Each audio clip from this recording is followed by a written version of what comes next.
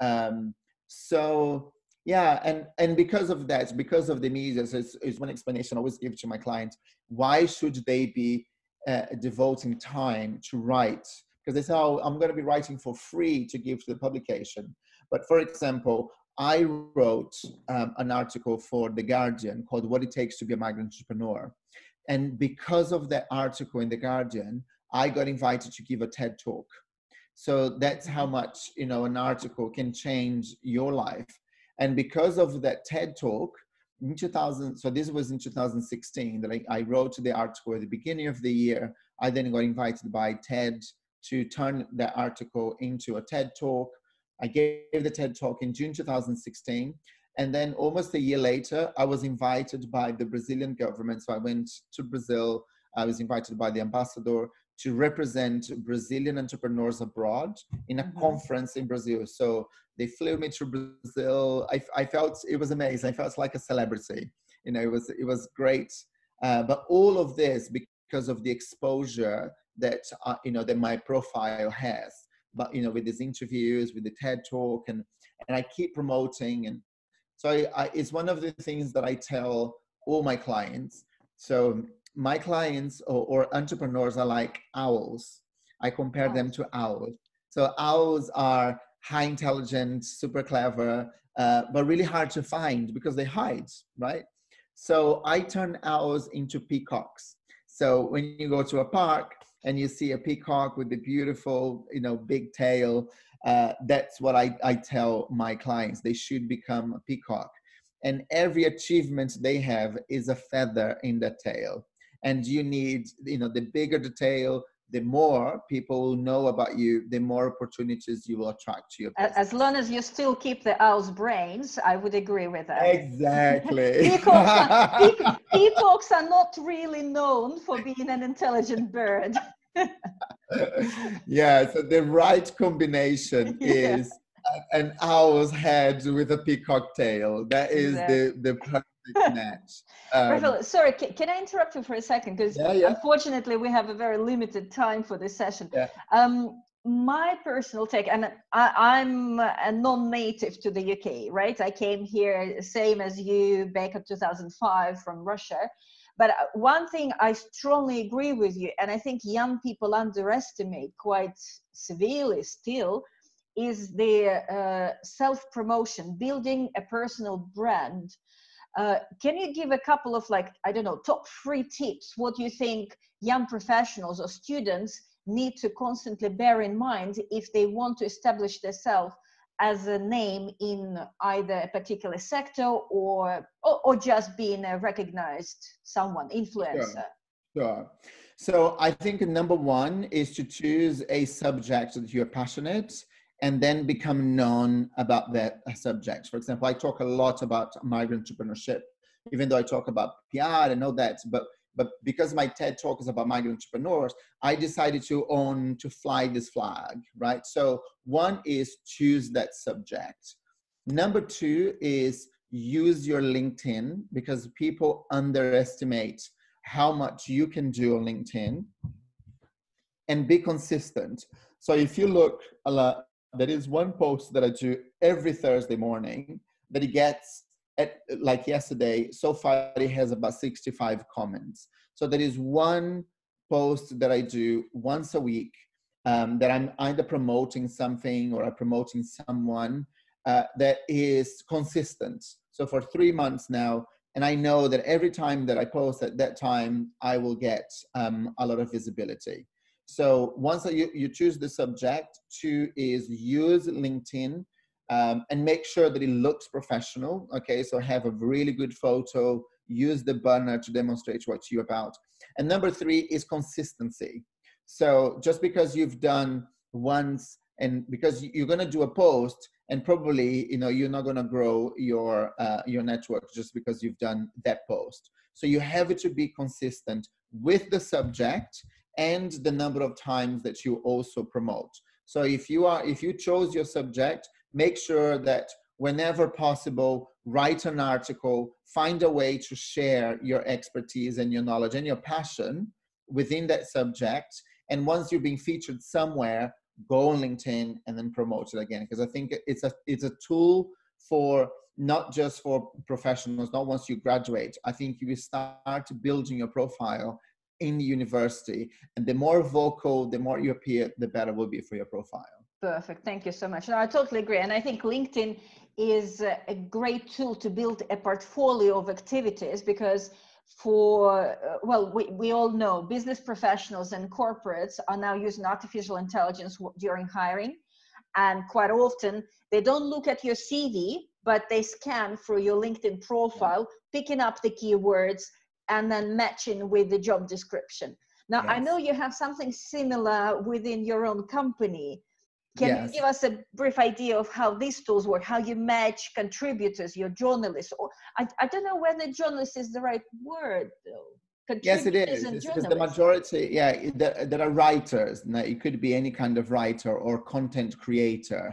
But at the moment, you know, the majority are actually journalists because journalists are writing articles on a daily basis and they need people to uh, to interview. So they need experts, you know, to provide comments um, the way that it works is it's as you as you well explained is keywords mm-hmm. so what the way that my platform works is once the journalist adds so let's say like the example that i gave um, if you're writing about spices that help people lose lockdown weight um, the journalist will pick keywords. So i want um, spices and i want um, weight management and then you can use dietitian nutrition. So depending on and then depending on how many times you have those words in your uh, profile then your profile goes to the top of the the search results so uh, um, the more obviously the more times it appears or the closer it is what the journalist is looking for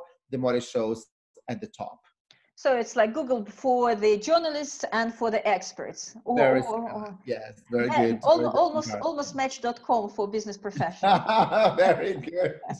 well, uh, correct me if I'm wrong, but that's the feeling, and in a good way, of course. I it's mean exactly. It. Yes, it's matching. Yeah, pretty much. It's like any other matching, uh, uh, uh you know, mm. dating or job search. Yes. No, I'm I'm happy to test it myself because we at QS quite often are looking for comments and well not questions because questions we get from the market or from our university and business school partners but sometimes we lack either comments from students and alums or comments from employers or comments from someone who has experienced xyz and then uh, we can share their feedback their comments their quotes for our channels and that's how people build profile now, we only have a couple of minutes left.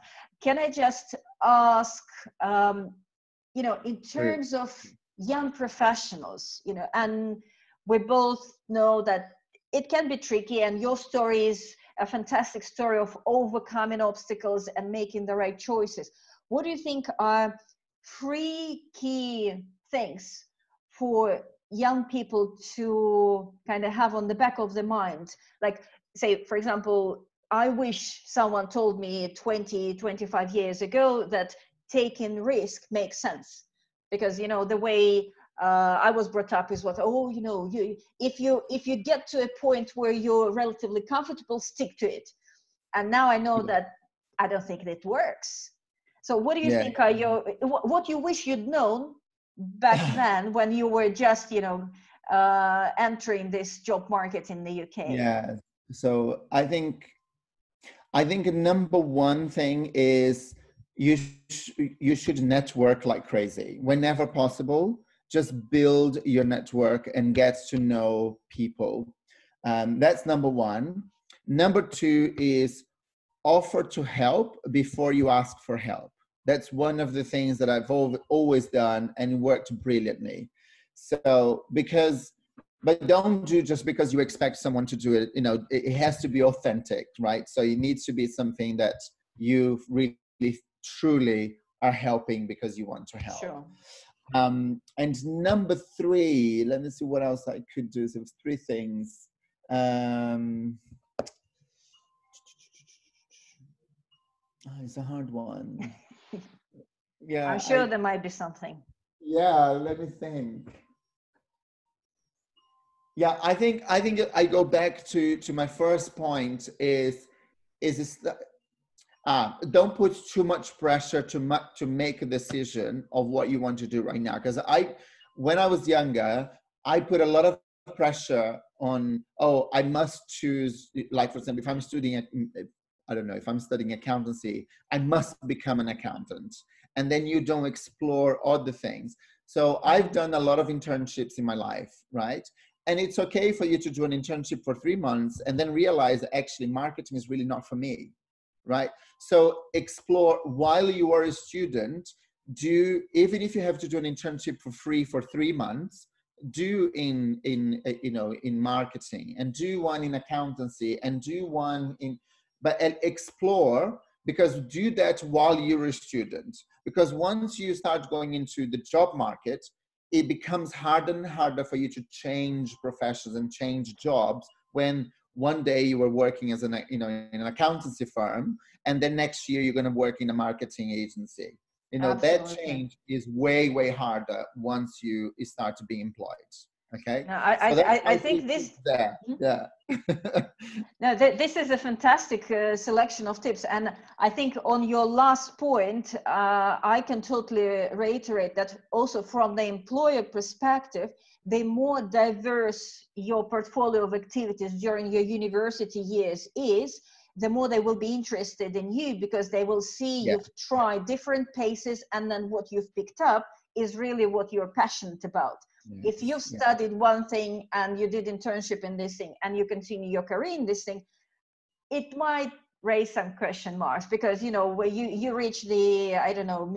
mid 40s crisis and you discover that yes, instead of being an accountant you wanted to be a chef for yeah. example and and then you, you, you just close the door behind yourself eh, yeah. but it will be a hard change yeah so be risk averse be creative network with people the only thing i would probably add in terms of networking is be genuine and honest to yourself in terms of yeah. don't try to reach someone who you think is influential just so that you can tick the box you've got him on your portfolio it's it's mm. it's quite scary when you're young but sometimes when I, I looking back i can say that keep the people who you really like next to you because it doesn't matter whether they w- will be useful you know from the practical point yes. of view from a selfish yeah. point of view but it does matter that you stick to good people yes and no, i completely it, agree yes. it, it can uh, get really frustrating when someone you know thinks that you networked and you made friends with